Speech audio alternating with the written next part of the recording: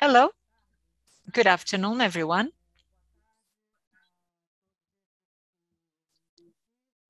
Good afternoon to all of those who are here with us. I would like to start by thanking the organizing committee of FIS, especially Josie Avillar, for the invitation to be the moderator of this panel. I would also like to thank our panelists who are going to share their experiences and inputs. They've all been introduced to some extent, but let me very briefly say who's who. We have José Gomes Temporão, who is a public health physician. He was Ministry of Health between 2007, 2011, a researcher of the Public Health School of Fiocruz, and he is Executive Director of the Sul-American Institute of Government and Health. Dr. José Gomes Temporão will go first. Unfortunately, he cannot stay till the very end. He has another uh, appointment at uh, 3 15, so he won't be able to be with us till the very end. We also have Dr. Marta Díez, who has taken different leadership position through her career. She was the president of the Andean cluster. And she also worked with Sandoz, GE Healthcare, and Boston Consulting Group in Spain. She is currently president of Pfizer in Brazil. We also have Marco Krieger. He is trained in biology science in Paraná. His master and PhD in the Federal University of Rio de Janeiro. And he is the Vice President of Production and Innovation in Health for Fiocruz. We also have Felipe Barreiro. He is an engineer trained at Unicamp. He has his MBA in the Foundations Getúlio Vargas, specialized in strategy from the University of Miami School of Business Administration. And he is the VP of Medtronic Brazil. And finally, myself, I'm Angela Uller. I studied chemical engineering and my master in UFRJ and my PhD in Paris and I am a, prof a professor of technology and innovation at COPPE. Before giving the floor to my speakers, I would like to make some comments. We are talking about the importance of R&D in a new complex of health, a very relevant and current topic we've been speaking a lot about science, technology, innovation. It is uh, these are buzzwords, uh, uh, and that has been the case during the pandemic. We've said good things and bad things about that. We have taken thousands of years living in the uh, years of darkness, was uh, during which religion ruled it's very sad to see uh, we going back to the obscure days. So all the values of enlightenment, science, and democracy. Science and technology and uh, R&D are indication of uh, civilization and sovereignty and the economic value that R&D brings to us. The pharma industry, its whole basis is R&D. And the pharmaceutical industry is known for its dynamic role in R&D. Global companies invest 15 to 20% of their uh, revenues into R&D. In Brazil, the pharmaceutical industry has had more concentration on the production of generics, and there are some other institutions such as Fiocruz and Butantan, which tend to develop more R&D.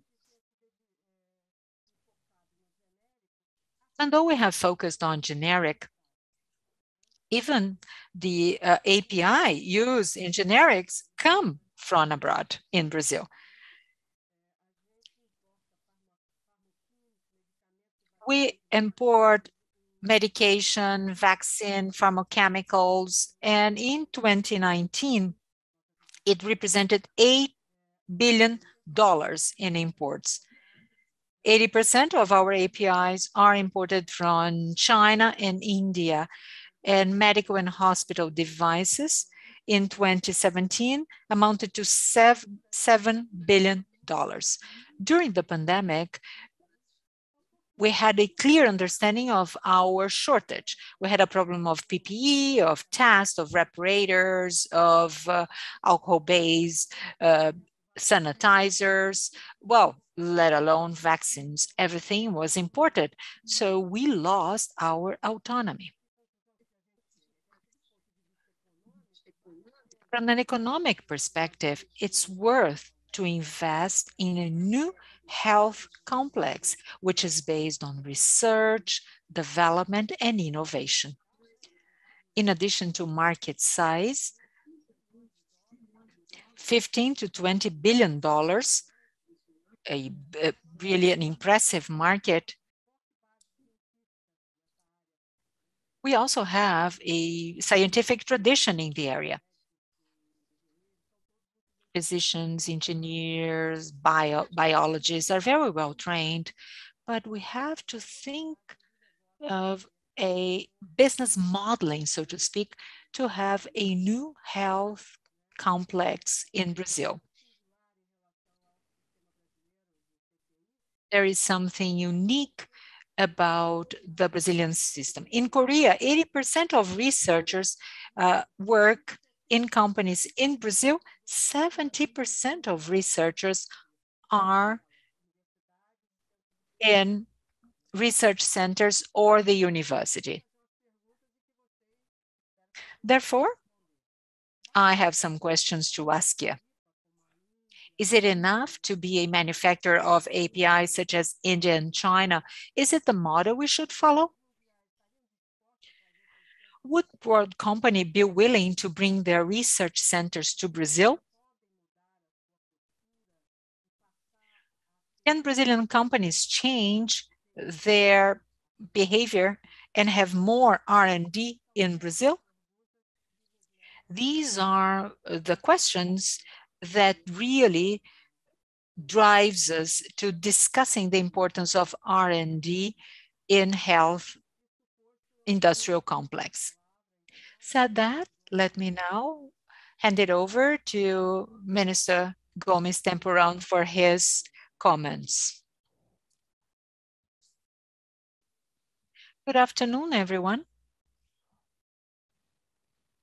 Let me greet Professor Angela Uller, Felipe Barreiro, Marco Drea, and Marta Díez. I would like to greet all of those who are watching us. A very relevant topic, certainly. COVID-19 pandemic has laid bare our technological vulnerability. Brazil was brought to its knee. We had no access to PPE, inputs, respirators. We had some difficulty to access API and start manufacturing vaccines, and Brazil is too big a country to remain in such a fragile position. So I would like to start by just making a diagnosis before coming my proposals. R&D environment is not appropriate in Brazil. There are some critical barriers to production of knowledge and innovation. We've seen a escape of brains because the government attacks Brazilian science and makes it very weak. I never thought I would live to see what I've been witnessing. We know that developing and detaining technological information is absolutely essential for any country that wants to reach full sustainable development.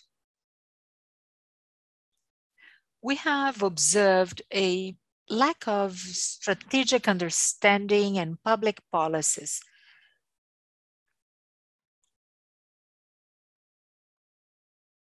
And as such, we haven't reached the second level of development that we should have. We need a continuous, efficient policy that favors research and development.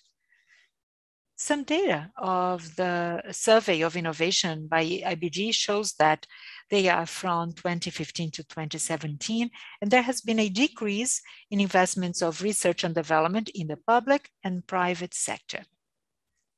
Public expenditures are 0.63% of GDP, private uh, uh, expenditures are 0.64% from private institutions. We see that some efforts are just focused on getting uh, fiscal incentives and exemptions to buy imported devices and very little is invested in really coming up with innovation if we really visit what we have uh, for for example submission of patents since january last year we can see that in 2019, 25,000 patents uh, were submitted. Only 20% were patent submissions of people living in Brazil.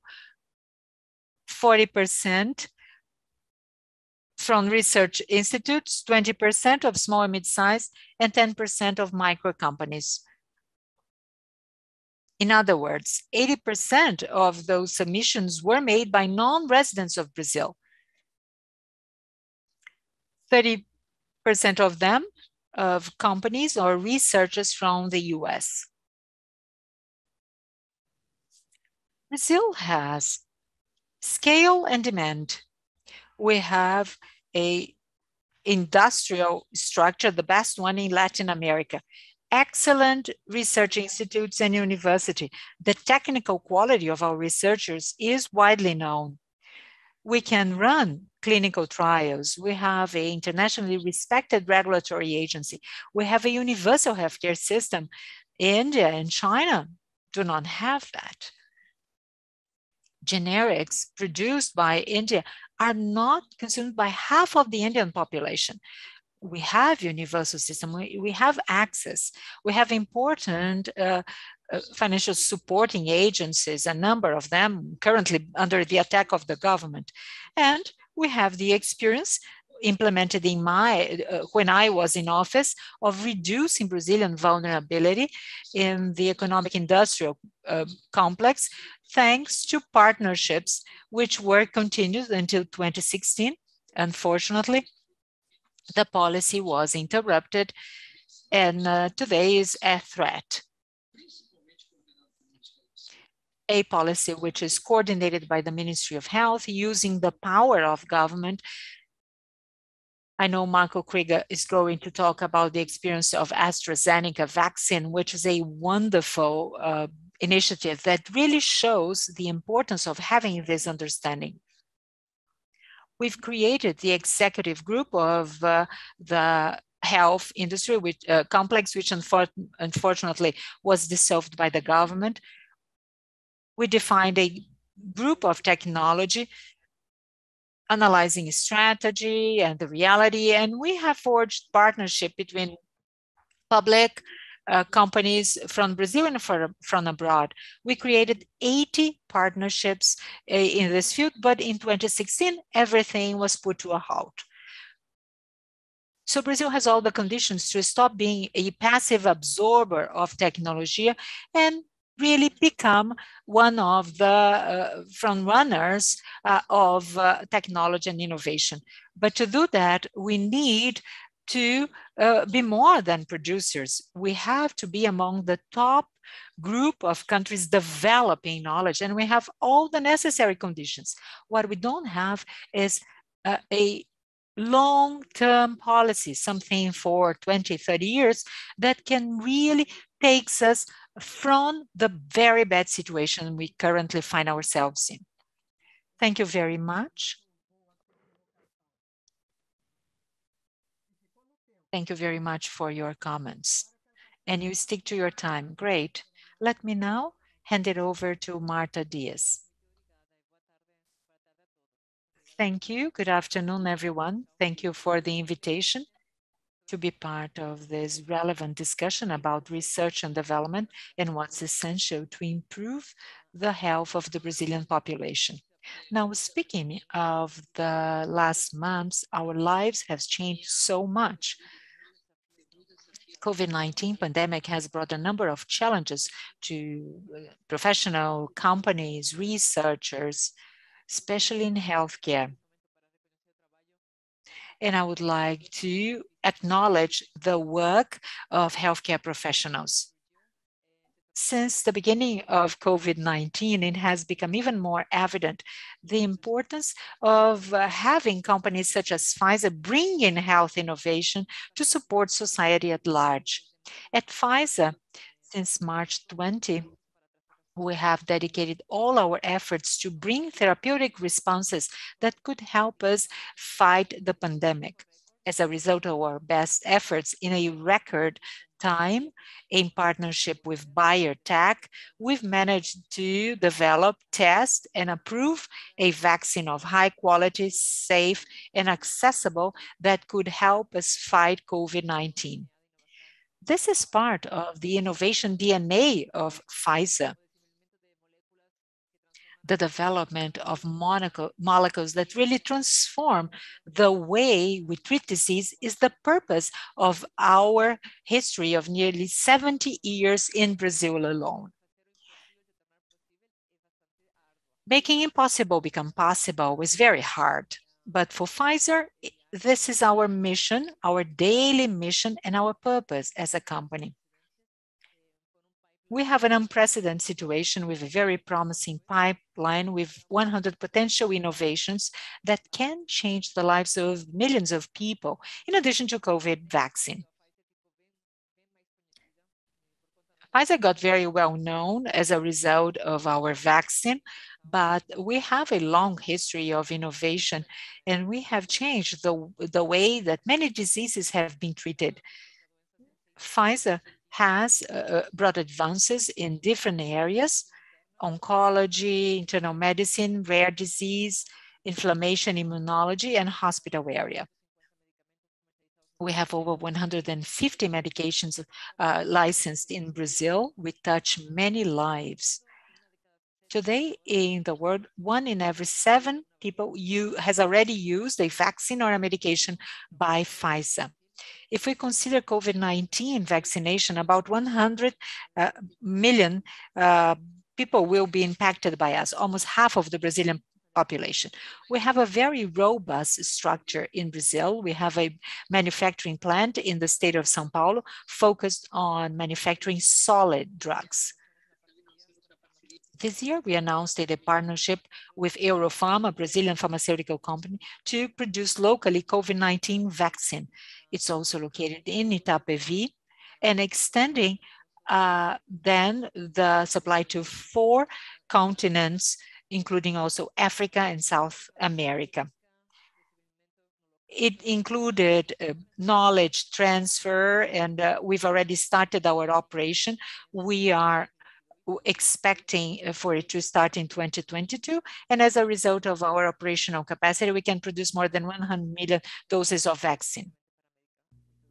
And they are distributed exclusively, exclusively to Latin America. We also invest in research and development in Brazil, and which became even more evident during the pandemic because we participated in significant global trials, including uh, the uh, trial for the vaccine and also the development uh, of an antiviral for COVID-19. We have many studies going on in the country.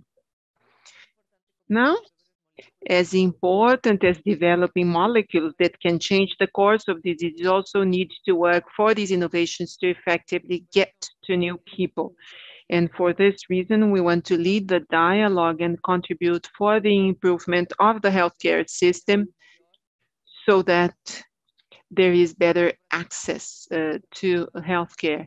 One of the major uh, accomplishments of the population is uh, the possibility of having access to vaccines and uh, medications through SUS and also through health plans. Access and sustainability depend directly on the assessment of these technologies. So we need to think that this model is a model that provides opportunity for improvement thank you very much. I thank you very much for the opportunity.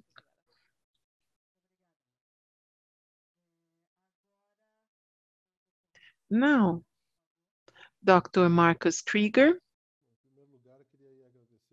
Well, first of all, I would like to thank the invitation to me. It's an honor to be here sitting on this panel with our renowned colleagues and uh, the former minister Temporão, who has always been ex uh, exemplary as a minister, but also as a researcher at Oswaldo Cruz Foundation.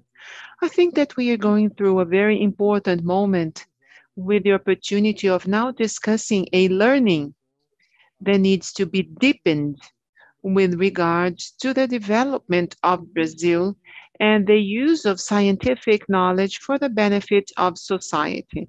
I think that Fiocruz started and has in its DNA, DNA 121 years and to deal with other pandemics that existed in the past, such as yellow fever and, others. And our colleagues uh, of 110 years ago could solve those problems. Not only that, but also start a virtuous activity of scientific research in public health, such as the discovery of Dr. Carlos Chagas, which took place in the first decade of last century which was not the beginning of scientific activity in Brazil, but undoubtedly was the time when Brazilian society saw the benefit of using scientific knowledge to solve its problems. And this is very strong in our activities since then. We uh, went through many other situations, just to mention over the last few years, we had, and Dr. Temporão will remember, we had H1N1 uh, outbreak while he was a minister, which was a challenge for our healthcare system and other emergencies such as Zika virus, re-emerging such as yellow fever and measles, and the new sanitary challenge that we have had with SARS-CoV-2. I think that our generation has had to deal with the biggest public health challenge of the last 100 years, at least. And our challenge has come to a moment uh, that maybe we're not so well prepared as humanity to deal with this um, challenge. I think that we have had very significant accomplishments, such as, for example, AIDS virus took three years to be identified. It took three years before they identified the virus as the cause uh, of the uh, of AIDS. The first outbreak of coronavirus earlier this uh, century took almost one month to identify SARS-CoV-2. We, in one day, we already had the genome, and in one month, we were trying to design the first vaccines and in much less time than it was necessary to identify uh, the virus that caused AIDS. We already had many candidate vaccines already in uh, the clinical phase. And this is important to show that the scientific knowledge is available. And I think that the Brazilian society and the global society as a whole has been using society in the, as the best way to deal with the pandemic. Of course, we see anti-science movements, but in Brazil, at least, at least with regards to vaccines, it's much less significant than it is in other countries. Here we have a compliance uh, of more than 90% of the population. I would like to say, first of all, is that these movements didn't happen in the middle of nothing. The new vaccines that we are using now, they were being developed already uh, to face sanitary challenges. There were significant challenges for the funding and preparation for a new pandemic of an X disease, which we didn't know what it would be, but we were kind of expecting it. and also we were funding uh, the technologies such as uh, Moderna's technology were also being developed for this type of initiative. And immunotherapy had transcended uh, the field of infecto-contagious diseases and was being widely used in cancer in autoimmune diseases, such as the case of the history of the vaccine of Pfizer, BioNTech, and you had a pipeline that was much more significant for cancer and new diseases rather than infecto-contagious diseases. But that knowledge for this new technology basis for immunotherapy made it possible for them to provide a very prompt response. It's very important for us to assess that right now in Brazil, we have a funding crisis of the funding system for our uh, system of technology and innovation, and this is uh, may be related to other challenges. And I would like, uh, I would take the freedom to draw your attention to the results we have attained, a long history of the country with investments in different areas of research in Brazil. Uh, the investment made at Embrapa has transformed the country may be the most significant country in terms of production of food in the world. The investments made on ITA, ITA in uh, space engineering school made it possible for for us to have Embraer maybe one of the leading companies in this industry in the world. And I'm sure that the, the investments made in health and public health, the investments made uh, um, after uh, the um, policy of the Ministry of Health, and we have the honor of having Minister Temporão that was related to the foundation. I'll share a brief story with you. It started as a program in the post-graduation of the City School of Public Health, and we started discussing the transformation of uh, health uh, and, and turning it from expense into investment. So the rational use of funds that needed that needs to be invested in health into a, a, platform for development and innovation. I think that in innovation needs to be seen without any limitations. It's an important model for uh, science and technology, so long as they are prepared to develop new products, just as to support internal products. In the situation we are dealing with now, I think that the legacy that we have, and in closing, is that today we would be backed up by society with regards to the use of scientific knowledge for the benefit, especially in the field of health. This is very well consolidated. And I think that the example of the dependence that we had at several moments in dealing with a pandemic, with the uh, personal protection uh, personal protection equipment, PPE, and diagnostic tests, uh, inputs for vaccines. So all this difficulty reinforces a vision of strategic position uh, of a few segments in the country. It's impossible for us to be isolated in a bubble, think thinking that we must do everything in Brazil, but we need to focus on certain strategic materials uh, that should be produced. In the case of vaccines today, we have more vaccines, but for different reasons. There was major competition. Not all countries have the same number of vaccines uh, that we are having, and uh, neither did us it's important to emphasize in the first half of the year, we were almost 90% dependent uh, on uh, the vaccines produced by Butantan and Fiocruz. And uh, strategically, um, it needs to be defined and focusing on inputs that are important for a country that is very big with high populational density and a health system such as ours. I think that this discussion is very important and we started an event such as this and we are going to keep it over the next few months and years, always trying to retain uh, the lessons learned from the pandemic. Thank you very much, Marco. Well, this is being a very nice chat. Felipe, please.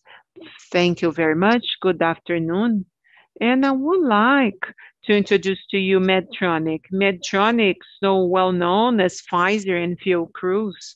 Our company is focused on uh, technology for healthcare, especially for surgery, intensive care, diabetes, pain control, It's a company that has more than 200,000 uh, products and treatments for more than 70 conditions and diseases. It's a global company in Brazil this year. We are uh, celebrating our 50th anniversary.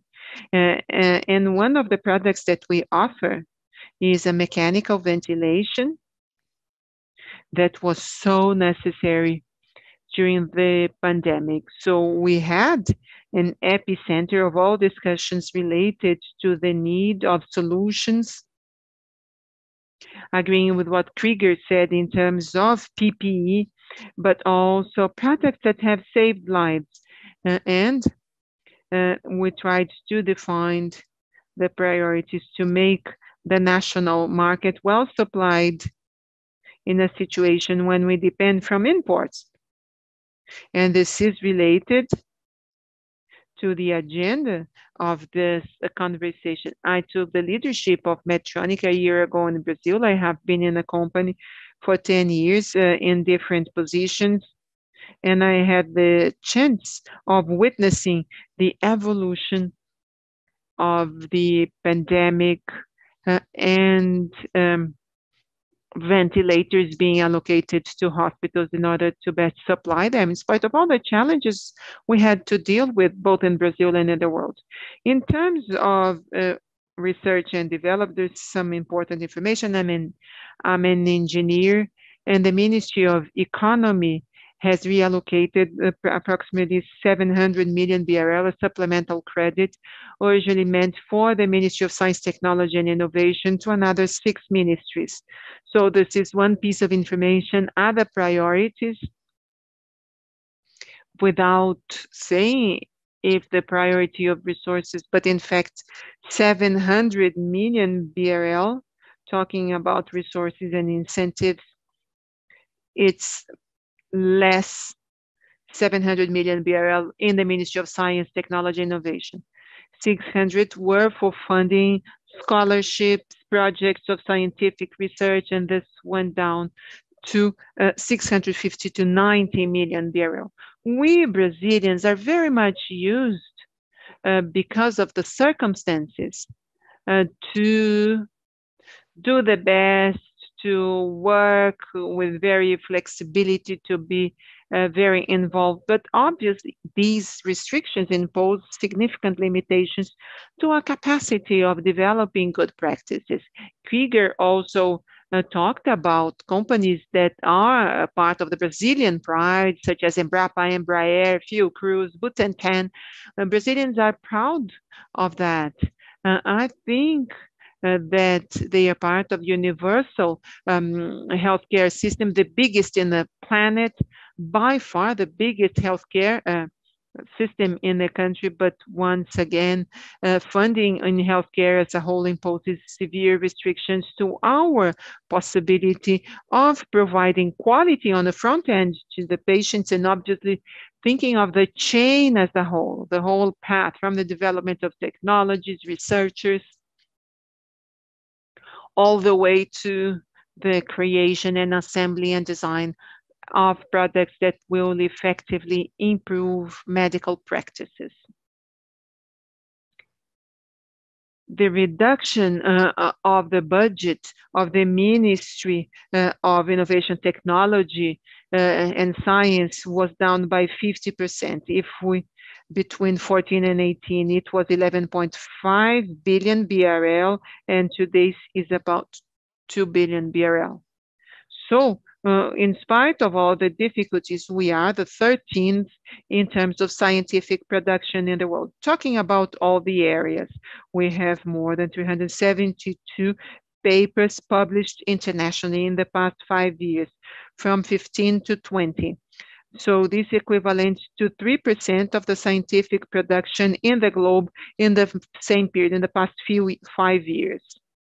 I think that this reinforces and backs up the issue of the skill of Brazilians. And I, I was talking earlier on about our skill and our potential capacity in the Brazilian territory to have a production which is above average in spite of all difficulties. Another important information, the state of São Paulo concentrates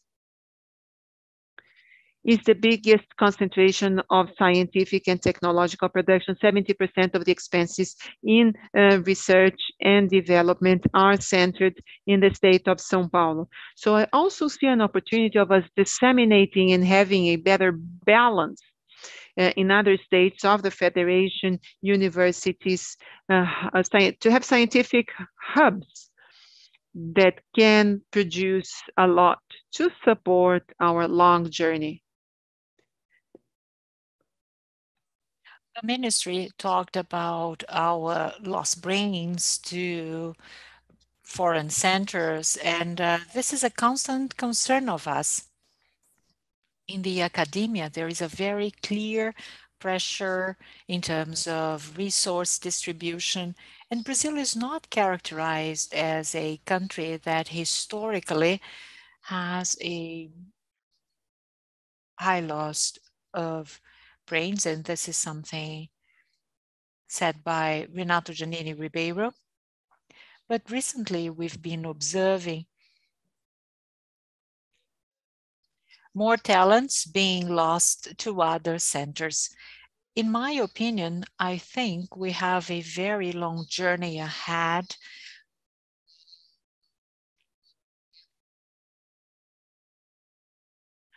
Medtronic can contribute significantly. And as a patriot, I think we can have a more sustainable system in Brazil that encourages technological innovation and development of new practices, the development of the country as a whole. And I also see my optimistic side, which uh, looks forward to having a more promising future. Considering everything that we've learned as a consequence of the pandemic that has hit all of us very heavily. Of course, we are learning many lessons from our experience, priority in health,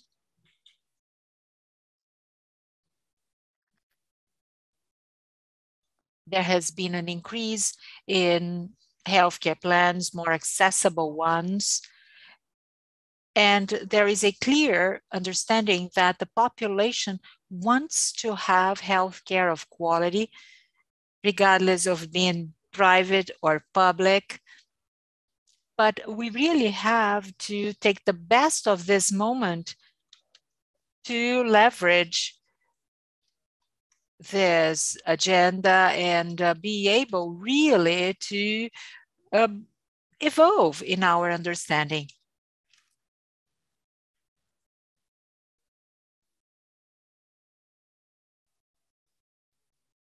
Having really a an industrial complex where we can actually reach sovereignty. There is a dependency of on external technology, there is more in terms of uh, production line. Marta developed her whole career in the pharma industry, so has mine. And manufacturing in Brazil is not characterized by production of uh, uh, supplies, but rather by its consumption. In medical and the supply area,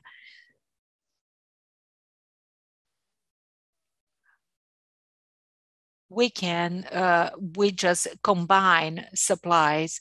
We are more characterized as a uh, industrial line a setup line and this is why we depend on uh, raw material and supplies coming from abroad. So it would be wonderful if we could really have it done in-house. Great. Thank you felipe. I would like to make some comments we think that Brazil is going to work fine. And now and then we seem uh, to go backward now and then. But I would like to give you an example of what we have. And we can have successful things. One of them, uh, oil and gas, for example. Petrobras has really uh, beaten all technological uh, things and uh, then we learned all this uh, progression. And uh, this is almost a successful case. How much university has evolved into that? There are many people who believe that in the university we can develop everything, but that's not true. We can study, we can propose, we can research, but then we need a comp we need a company uh, because universities do not sell anything. In the pharma industry, companies in Brazil do not like to run risk. Just to give you an idea, we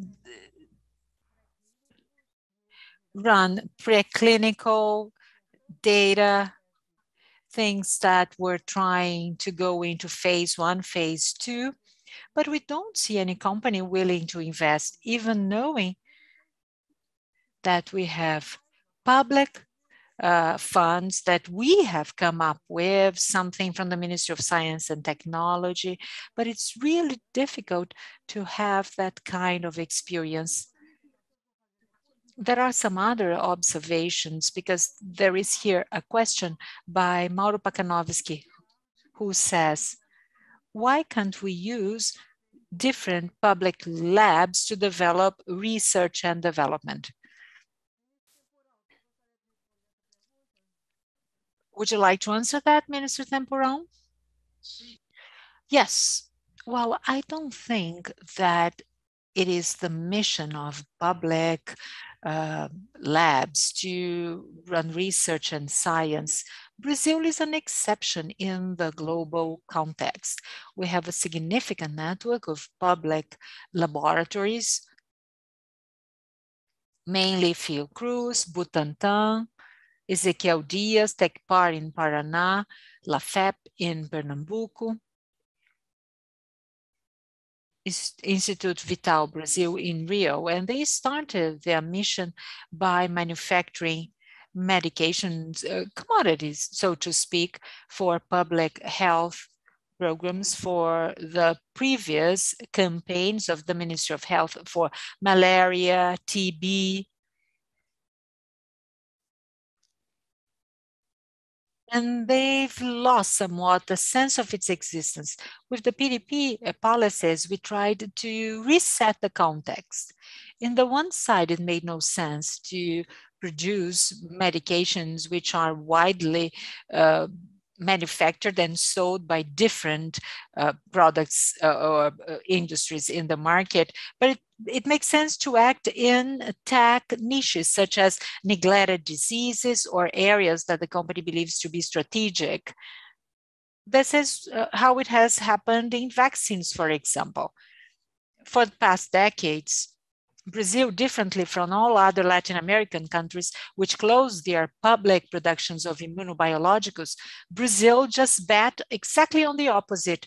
Brazil invested heavily on structuring a technological productive basis. And this has been the base that provided us a, the, best situation for COVID-19. So you see, Marcus Krieger and Lydia, Lydia uh, Nisia Trindade were wonderful in working with AstraZeneca through an innovation in public procurement. It was a technological uh, agreement that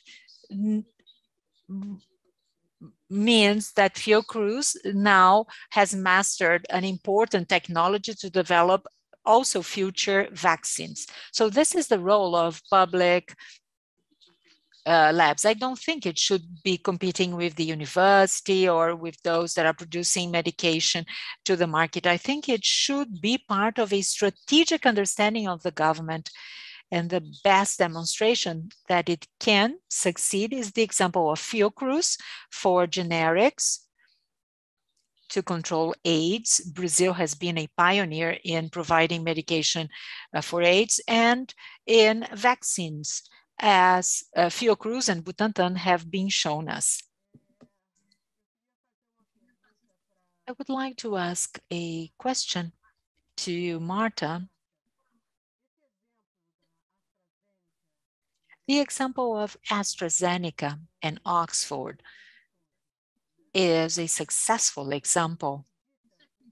Do you believe that it would be possible would it be possible to have a partnership like that between a Brazilian university and Pfizer?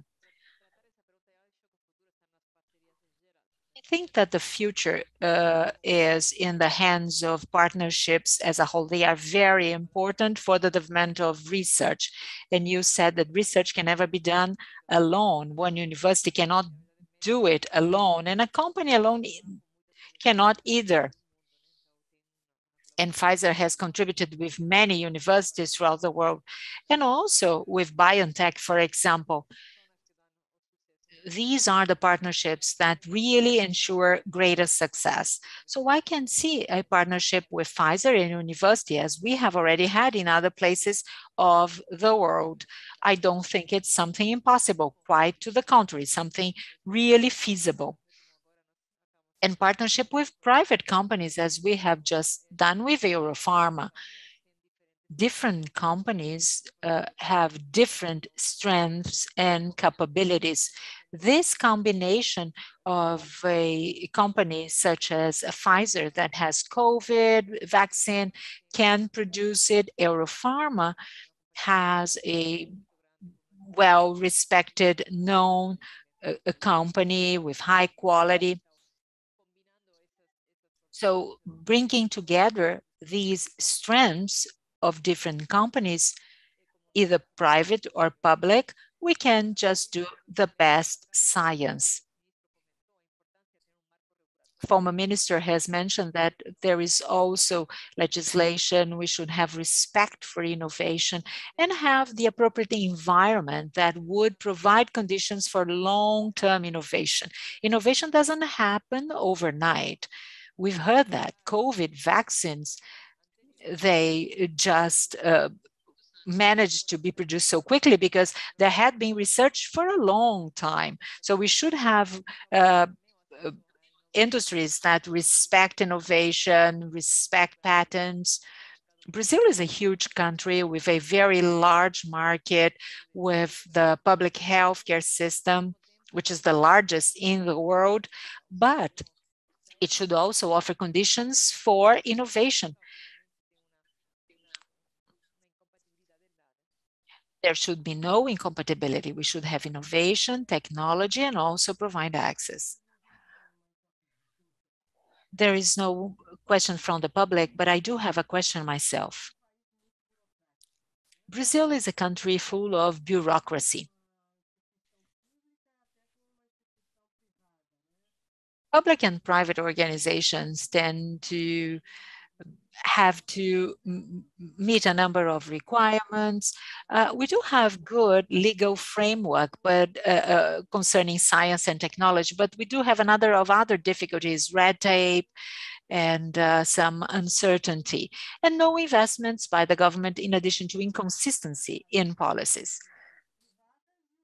It impacts uh, public and private companies likewise. So I would like to hear from you, what do you think would really uh, help us get uh, attract more business here in Brazil? Let me start with Michael Krieger, who does things here in Brazil, but I'm sure he's impacted by all of that. And Felipe, who does think, but import things to do things here.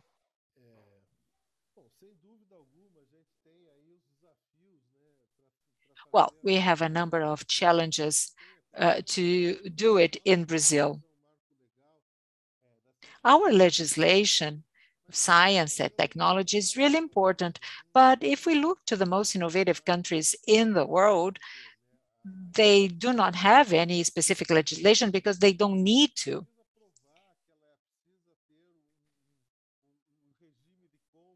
You don't have to really have any specific uh, procurement process uh, to buy things. Of course, everything is important, but we have to have a clear understanding and a clear understanding and models in the process.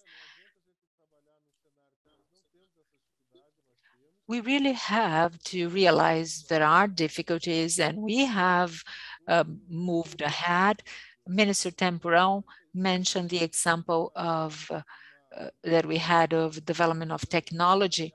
It was a decision based on risk assessment, but at that time, we had to make a decision to invest in products that did not exist, regardless of what product it was. The Brazilian legislation does not allow the preparation of production and manufacturing of a product that does not exist yet. But we carried out a risk analysis of not uh, making the technology investment, how we would be if we hadn't started in March last year to discuss that. Despite all difficulties, it was still very important to rely on this tool and uh, this uh, Uh, disposition of our uh, law. And it really is um, showing us that we have excellent legislation, but the only thing is, how can we convince everyone um, in our country, especially now when we have so much uncertainty going on? Um, Civil servants, for example, are not uh, sure about uh, really making a purchase of anything innovative. When I am in meetings with managers and innovators, I say, "Who is in favor of buying uh, 600,000 without having a formal RFI or a bidding process?" So all researchers say, "Yes, we are." The other managers say, "No, definitely not." So we really have to make sure that the risks have to be run, provided that we have technical, scientific conditions to really support the projects as they deserve to. At Fiocruz, we have been encouraging innovation, and we are trying to assess projects on, and not how money is being spent, but how can we achieve goals, objectives? Because sometimes there is a good project, very well um, assessed, but nobody knows whether uh, that uh, study has been published in a good uh, peer review journal, and if it has produced good results or not.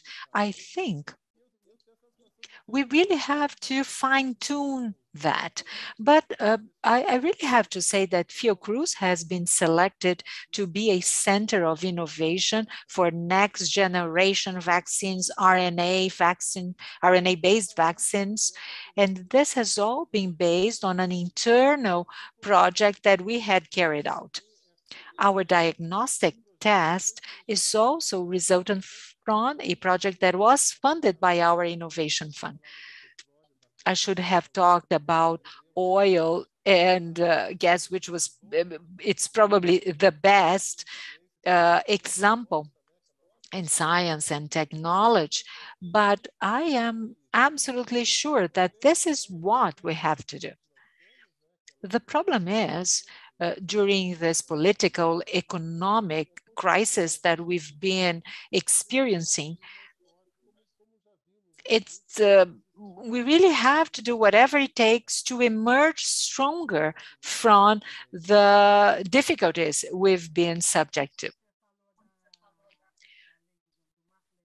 When you were speaking about the legislation, maybe Marta won't understand that, but the problem is uh, not uh, really the top Uh, uh, uh, management, but it's really sometimes the middle level, you know? It's complex. Felipe?